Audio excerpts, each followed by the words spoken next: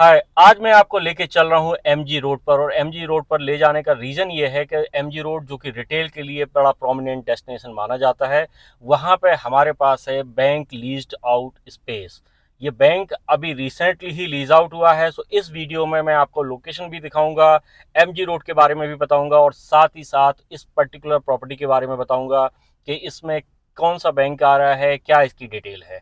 सो इस वीडियो को एंड तक ज़रूर देखिए और अगर आज तक आपने इस चैनल को सब्सक्राइब नहीं किया है तो इस चैनल को सब्सक्राइब ज़रूर कर लीजिए। चलते हैं एमजी रोड की तरफ़। एक टाइम था जब गुड़गांव स्टार्ट हुई थी दिल्ली के सैटेलाइट सिटी की तरह।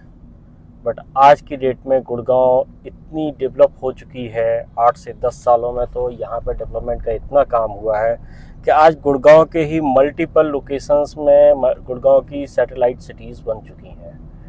स्टिल एमजी रोड जो कि स्टार्टिंग से ही रिटेल का एक हब था गुड़गांव के अंदर, आज भी बड़ा डिमांडिंग है और यहाँ पे जो है, हर तरीके के ब्रांड्स आज की डेट में ऑपरेशनल हैं।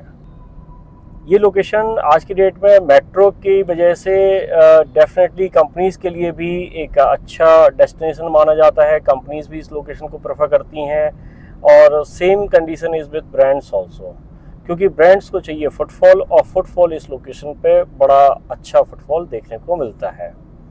दिस इज़ द रीज़न के आज की डेट में भी डेवलपर्स यहाँ पर लैंड बैंक परचेज करने के लिए प्लान कर रहे हैं। कुछ ने परचेज भी किया है। एम थ्री एम ने अपना एक प्रोजेक्ट यहाँ पर लॉन्च किया। एम थ्री एम ज्वेल के नाम से। एम जी रोड का सबसे बड़ा बेनिफिट ये है कि ये वेल कनेक्टेड लोकेशन है। आपका, चाहे आपको दिल्ली से आना हो, तब भी आप एमजी रोड से कनेक्ट होते हैं मेट्रो की कनेक्टिविटी के थ्रू भी आप कनेक्ट होते हैं एन से आप आ सकते हैं, आप एमजी रोड के थ्रू आ सकते हैं।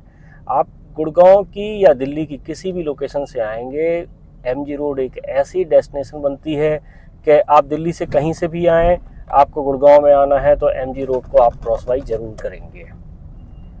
पास में ही एमजी रोड के साथ में साइबर सिटी लग जाता है। साइबर सिटी के अंदर भी टॉप कंपनीज़ ऑपरेशनल हैं। डीएलएफ मेजरली वहाँ पे बिल्डिंग्स ओन करता है और उसकी वजह से वहाँ पे लीजिंग काफ़ी स्ट्रॉन्ग हो रखी है। तो ब्रांड्स वहाँ पे भी काफ़ी हैं। आज मैं एमजी रोड की लोकेशन पे, जो कि रिटेल के लिए one of the best location मानी जाती है इन गुड़गांव, उसके अंदर एक बैंक का ऑप्शन आपको बताने वाला हूँ। प्रीलीज के अंदर इन्वेस्टर्स का बड़ा इंटरेस्ट होता है, क्योंकि एक तो सेफ़ और सिक्योर इन्वेस्टमेंट होती है। दूसरा रेगुलर बेसिस पे आपकी रेंटल इनकम आती रहती है। और बैंक जो है, ज़्यादातर जो एज ओल्ड लोग होते हैं, उनको लगता है कि एक सेफ़ और सिक्योर इन्वेस्टमेंट है।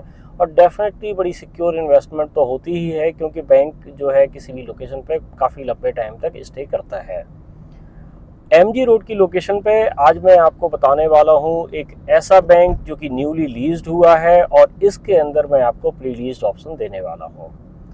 इस बैंक ने तीन रिटेल शॉप्स को लिया हुआ है और ये J M D Regent Square के अंदर लोकेटेड है।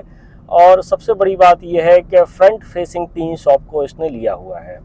सो आप चाहें तो सिंगल ओनर ही ये कंप्लीट एरिया ले सकता है और आप चाहें तो तीनों अलग अलग यूनिट हैं रफली 700 सौ, साढ़े सात सौ स्क्वायर फीट की यूनिट हैं। इनको आप परचेज कर सकते हैं। एम जी रोड जैसी लोकेशन पे ये बैंक होने की वजह से डेफिनेटली यहाँ पे जो है किसी भी रिटेल ऑपरेशन में इनको कभी आगे प्रॉब्लम नहीं आएगी। और जिस बिल्डिंग की मैं बात कर रहा हूँ, वहाँ पर ज़्यादातर इंस्टीट्यूशंस ही हैं। आपके बैंक्स ऑपरेशनल हैं तो डेफिनेटली एक अच्छी बिल्डिंग ये बन जाती है। ये एमजी रोड से ही हम साइबर सिटी के अंदर आ गए हैं। साइबर सिटी के अंदर आप दोनों साइड देखिए, कितनी अच्छी बिल्डिंग्स हैं। मतलब ये एक्चुअली क्या है कि आर्किटेक्चर का लैंडमार्क आपको यहाँ पे देखने को मिलेगा गुड़गांव के अंदर।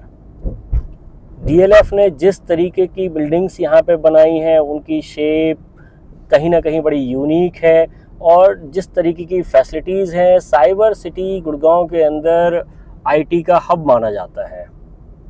और दिस इज़ द रीज़न कि यहाँ पे आज की डेट में टॉप कंपनीज़ ऑपरेशनल हैं टॉप एम ऑपरेशनल हैं और यही वो लोग हैं जो कि जाते हैं शॉपिंग करने के लिए आइधर एम रोड और अदर लोकेशंस पर। बट ज़्यादातर क्या है कि एमजी रोड बिल्कुल पास की लोकेशन हो गई है तो अगर पार्टी करने के लिए जाना है आउटिंग के लिए जाना है शॉपिंग के लिए जाना है तो यहाँ पे जो भी वर्किंग क्लास है, उनके लिए एक अच्छा डेस्टिनेशन बन जाता है। अगर आज तक आपने इस चैनल को सब्सक्राइब नहीं किया है तो इस चैनल को सब्सक्राइब ज़रूर कर लीजिए।